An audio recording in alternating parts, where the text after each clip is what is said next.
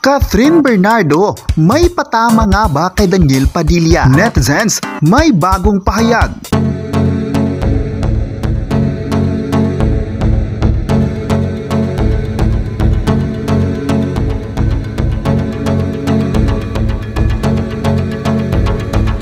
Feeling ng mga netizens, patama kay Daniel Padilla ang viral video ni Catherine Bernardo na kuha sa concert ni Taylor Swift sa Australia. Pinusuan at nilike ng bonggang-bongga ng mga fans ni Catherine Bernardo ang kalat na kalat na ngayon video sa social media habang enjoy na enjoy na nakipag-party sa Era Store ni Taylor sa Melbourne, Australia noong February 16. Mapapanood ang kapamilya actress at box office queen na feel na feel ang pagsabay sa hit song ng multi-awarded singer na We Are Never Ever Getting Back Together. Talagang naglaan si Catherine Bernardo ng panahon para makita ng personal na nag-perform ang kanyang idol kung saan nakasama rin niya ang ilang malalapit na kaibigan.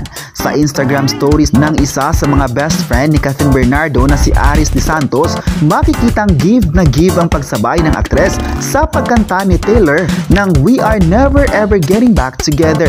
Ang paniwala ng mga netizens, si Daniel ang iniisip ni Kath habang sing to death sa concert ni Taylor para pak na pak ang ilang lyrics ng kanta sa mga naghiwalay na magjowa.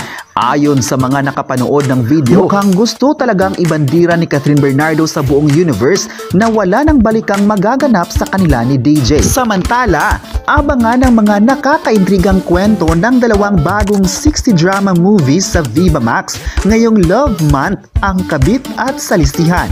Isang pelikula mula kay Lawrence Fajardo, bibida sa kabit sina Jesse Garcia, Victor Lerusa, Joseph Elizalde at Angela Morina. Kwento ito ng isang aspiring actress na nangangarap ng stardom pero sa pag-abot niya nito ay mawawalan ng hangganan kung ano pa ba ang trabaho sa pananamantala at tuluyan nitong sirain ang kanilang dignidad, respeto sa sarili at reputasyon. Si Angela ay gaganap bilang si Laura sa isang theater play. Si Laura isang aspiring actress at tinanggap niya ang role na ito sa play para magrebelde sa kanyang controlling na ina.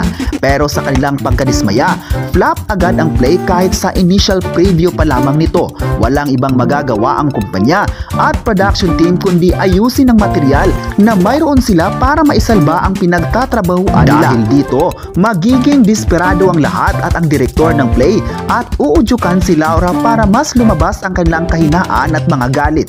Ang mga emosyonal na dapat maipakita sa stage.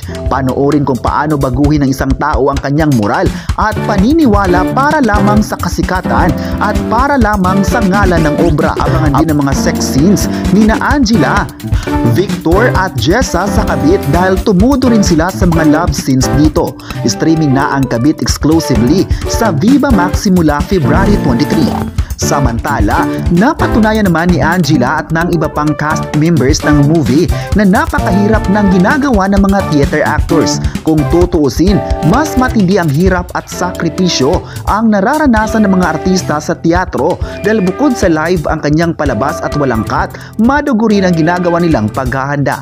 Kaya ayon pa kay Angela, mas tumaas pa ang paghanga at respeto niya sa mga theater actors. Minsan may darating para mas alogin pa ang gumuguhong relasyon. Ang Viva Max original movie naman nasa lisihan ay iikot sa kwento ng mag-asawang Dan at Ana. May problema sa kanilang pagsama pero sa halip na pag-usapan nito, dinadaan nila ang lahat sa sex. Hindi makapaniwala sina Dan at Ana nang dumating ang isang dalagang ang nagpakilalang si Sophie, girlfriend umano ng anak ni Dan at buntis pa ito. Ayon pa ng dalaga, nabuntis ni Dan ang dati niyang girlfriend at si Gab ang naging bunga. Napatutuhanan ni Dan at Ana ang sinasabi ni Sophie matapos pagtatagpi-tagpiin ng mga ebidensya. Kaya magdesisyon ng mag-asawa na kupkupin muna si Sophie at tulungan siyang hanapin si Gab. Makakabuti din naman ito sa kanilang pagsama dahil nagiging romantic silang muli. May pagkakataon pang naabutan ni Sophie ang kanilang pagtatalik.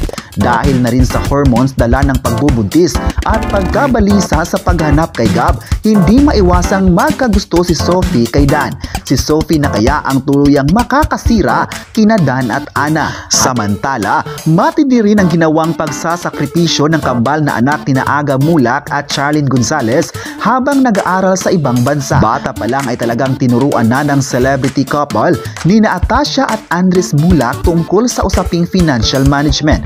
Kwento ni Aga Mulak, noong nag-aaral pa ang mga ito sa Europe, talagang may ibinigay silang alawan sa dalawang anak na kailangan nilang pagkasyahin sa loob ng isang buwan. Kumuha si Atasha ng business program sa Nottingham, United Kingdom, habang si Andres naman ay pumasok sa art school sa Spain at doon nga raw natuto ang mga bagets kung paano mag-budget. Samantala, masaya at nagpapasalamat sina Kin Chan at Glyza Di Castro sa mga suporta at papuri sa pelikulang Slay Zone na co-produce ng dalawang kasama niyang Wild Films International.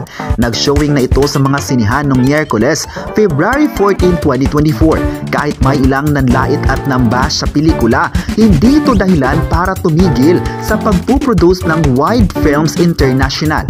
Binanggit pa ni Ken na tuloy-tuloy ang paggawa nila ng pelikula ni Glyza. Sa nakaraang red carpet premiere ng Slay Zone, ibinalita ni Ken na ang isusunod daw nila ay romantic drama na tatapukan ni na Jillian Ward. Tinawag pa ni Ken ang co-producer nilang si Pauline Publico para kumpirmahin ito na nga ang susunod nilang gagawin pagkatapos ng Slay Zone. Sabi pa ni Pauline, pwede na raw silang mag-start ng shooting anytime pero inaayos pa raw nila ang schedule ni Jillian. Si Direk Louie Ignacio pa rin ang magdedirect at kukunan daw ang halos kabuuan ng pelikula sa Taiwan. Malaking tulong daw ang abot kamay na pangarap sa pagbuo ng magandang tandem nila ni Ken at Jillian. Lalo pa silang naging close nang magbanding sila sa Japan noong nakaraang taon. Ang mga tinutukoy ni Ken ay ang kanilang co-stars sa abot kamay na pangarap na sina Richard Yap, Carbina Villaruel, Kazel Kinuche at Pinky Amador. Patuloy na umariba sa hapon ng abot kamay na pangarap kaya na-extend ito ng extend. Ayon sa source, ay extended ito hanggang Hunyo pero meron din nagsabi na hanggang September pa ito. Paborito ng BG Films producer Baby Go itong abot kamay na pangarap kaya gusto niyang mag-produce ng horror movie na tampok sina Carmina Villaruel, Richard Yap at Jillian Ward sa direksyon ni Joel Lamangan. Last year pa nabalitaan ang movie ni Jillian na gagawin with Senator Bong Revilla at Sharon Cunita. Tingnan na lang kung mas mauna pang gawin ni Jillian itong movie with Kinchan. Samantala, dahil tila wala na yatang imposible ngayon sa pageant world, ay tinanong si Celeste Cortesi kung mabibigyan ng pagkakataon sasali ba siyang muli sa Miss Universe Philippines. Pa niya, wala nang balak sumali siya sa kahit anumang beauty pageant tulad ng Miss World Philippines. Tapos na raw siya sa pageantry at ang pagiging actress na ang nais bigyan ng atensyon at panahon ni Celeste Cortese. Kayo, ano ang masabi nyo na may payag ang mga netizens tungkol kay Catherine Bernardo? May patama kaya ito para kay Daniel Padilla? At huwag kalimutang isubscribe ang ating YouTube channel.